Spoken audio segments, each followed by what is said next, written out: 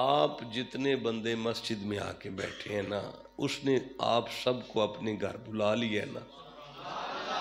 आपको यकीन कर लेना चाहिए कि माफ़ी देकर बुला रहा है। इसका मतलब है हम इस नतीजे पर पहुँचे हैं कि जवानी में जिसकी ज़िंदगी में तौबा हो जाए, उसकी ज़िंदगी में नेकियाँ आ जाएँ, उसके चेहरे पर हजूर की सुन्नत आ जाए उसकी नमाजें पूरी हो जाएँ, उसके गुनाह कम होना शुरू हो जाएँ, नेकियाँ ज़्यादा होना शुरू हो जाएँ, उस पर अल्लाह का फजल हो गया है। अब जब उस पर अल्लाह का फजल हो गया तो अब वो क्या करेगा? शाबाश मेरे बच्चों, अब वो क्या करेगा? अल्लाह का अल्लाह का, अल्लाह फरमाता है अल्लाहुल्लज़ी जालकुमुल्लैला लितस्कुनू फीही। वो मैं अल्लाह हूँ जिसने तुम्हारे लिए रात को पैदा किया है, ताकि सुकून किया करो। वन नहारा मुबसरा, दिन को पैदा किया है, ताकि कारोबार किया करो। अब अल्लाह फरमाता है अन अल्लाह लजू फदलिन अलन्नासी शक ना करना, मैं तो फजल सब पे कर रहा हूँ। वला किन अक्सर नासी ला यशकुरून, लेकिन कसरत से बंदे शुक्र नहीं करते, फजल सब पे है। मौला, इसका क्या मतलब है इस आयत का? भाई अल्लाह फरमाता है, जिसकी रात अच्छी गुजरे ना, सेहतमंदी के साथ। तुम्हें नहीं पता बीमार को कितनी मुश्किल होती है रात को। अगर किसी बंदे का सांस रुक जाए ना तो वो बंदा वेंटिलेटर बेड पर जाता है। एक रात का सांस अगर बंदे बंदे को दें तो ढाई लाख रुपया सुबह बिल बनता है हॉस्पिटल का। ये मेरे साथ वाक़ हुआ है, यानी ढाई लाख रुपया एक रात का बिल है। अल्लाह फरमाता है, सारी ज़िंदगी दे साह पे लेंदे हो।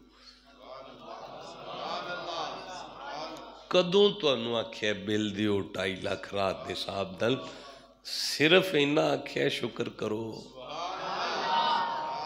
आपको समझ आई है जनाब देखें वल्लवी अल्लाह फरमाता है वल्लवी खालकुमिन अनफुसिकुम अजवाजा ये मेरी कुदरत है कि मैंने तुम्हारी घरवाली तुम्हारी जिन्स में से पैदा की लितशकुनु इलैहा, ताकि तुम सुकून हासिल करो। लेकिन जब तुम्हारा निकाह होता है वह आती तना सालहन, फिर मैं तुम्हें औलाद अता करता हूँ। लनकून मिन शाकिरीन, अपने बच्चों को देखा करो और मेरा शुक्र किया करो। आपकी औलाद अल्लाह का फजल है। जिस पर फजल हो जाए वो क्या करे?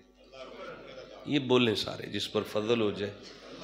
हमने पहली आयत क्या पढ़ी है कि जिसकी ज़िंदगी में रमज़ान आए, वो शुक्र करे।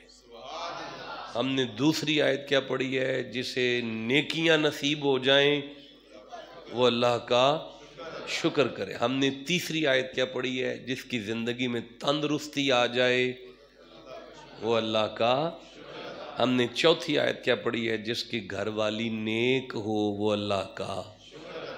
हमने चौथी आयत से दूसरा सबक क्या पढ़ा है? जिसकी औलाद नसीब हो जाए, वो अल्लाह का। मैं सूरह आराफ को देखना चाहता हूँ, सातवां सूरा है, और मैं दसवीं आयत को लेना चाहता हूँ। अल्लाह फरमाता है वाला कद कुम फिल अर्द शक ना करना। ये जो ज़मीन पर तुम कहते हो ना, ये कोठी मेरी है, ये ज़मीन मेरी है, ये मार्केट मेरी है, ये तुम्हारे बाप की नहीं, मेरा फजल है तुम पर। वजालना लकुम फीहा मायशा, उसमें से, ज़मीन में से मैंने तुम्हारे लिए रिज का बंदोबस्त किया है। लंगर कर रहे हो ना, कनक आ गई है ना चावल खा रहे हो ना, फ़सलें आ रही हैं ने। कलीलम तशकुरून लंगर तो सारे करते हो, शुक्र थोड़े क्यों करते हो? पता चला, अल्लाह फरमाता है, जिसके घर में रोटी पकती है, उस पर अल्लाह का फजल है।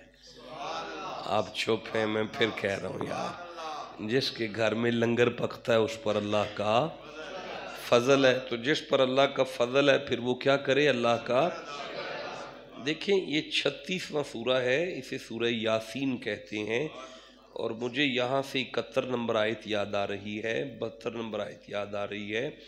मैं तिहत्तर नंबर आयत को लेना चाहता हूँ। अवलम यरौना अन्ना खलक न लहुम मिलत ऐदिना अनामन।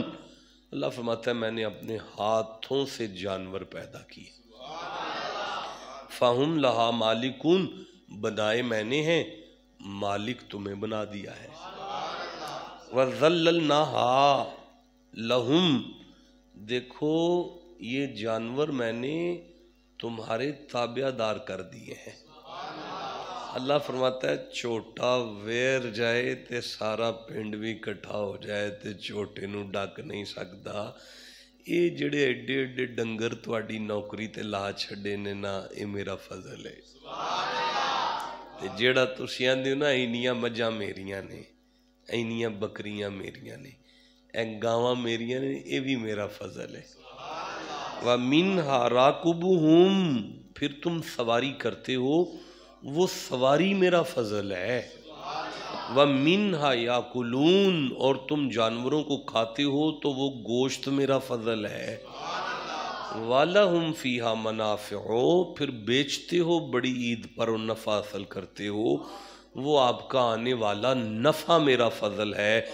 व मशारबो, फिर हर रोज़ दूध पीते हो उसका, वो दूध मेरा फजल है। अफला यशकुरून। ओए, सारे दूध पींदे हो, शुक्र क्यों नहीं करते भाई? पता चला जिसकी सवारी अपनी हो वो शुक्र करे। मोटरसाइकिल ही सही पिंड को मंगना तो नहीं ना पिया। जिसके घर में जानवर हैं वो अल्लाह का शुक्र करे। जिसके घर में गोश्त पका है वो अल्लाह का शुक्र करे। जिसके घर में दूध मिला है वो अल्लाह का बोली जाओ ना वो अल्लाह का वालमनाहू सना था वो मैं अल्लाह हूँ जिसने तुम्हें कारीगर बना दिया है। ये तुम मशीनें ठीक कर रहे हो, ये तुम इंजीनियर हो गए हो, ये तुम बड़े बड़ी फैक्ट्रियों के मालिक हो गए हो, तुम्हारी बड़ी बड़ी फैक्ट्रियाँ हैं।